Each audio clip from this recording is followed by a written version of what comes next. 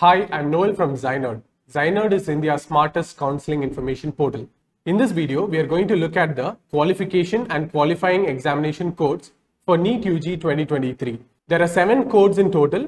Let's look at which code is the right one for you.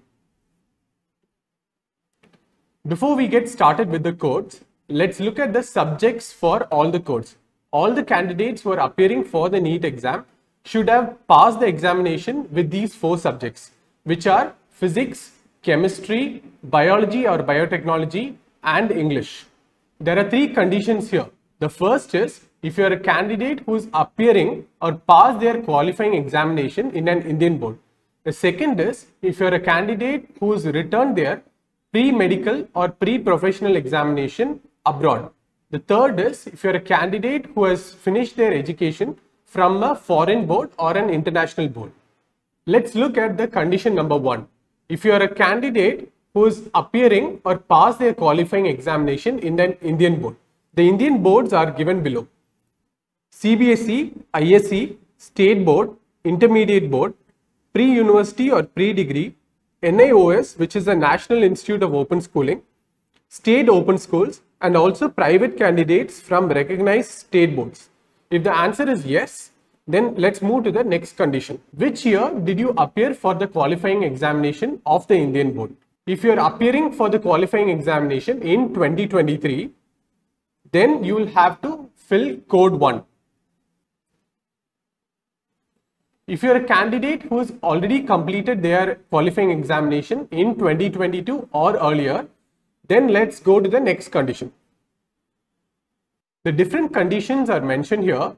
The first condition is if the candidate has completed their qualifying examination from CBSE, ISE, open school or from a state board. The second option is if the candidate has finished their pre-degree or pre-university.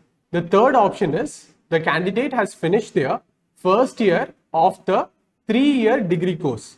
The fourth option is the candidate has completed their BSc examination. Let's look at the option number one.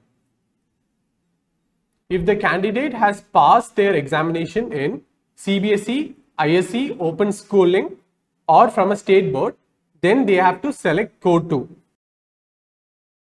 If the candidate has completed their qualifying examination in a pre-degree or pre-university, then they have to select code 3.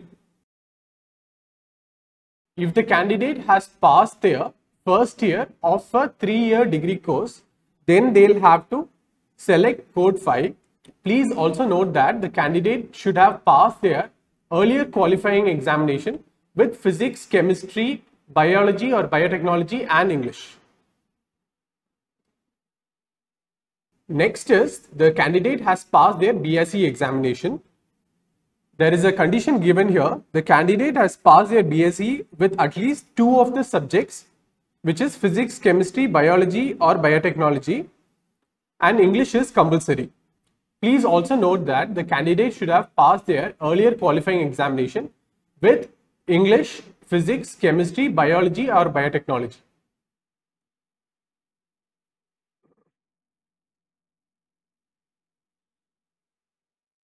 Next, we look at candidates who have completed their pre-professional or pre-medical examination abroad.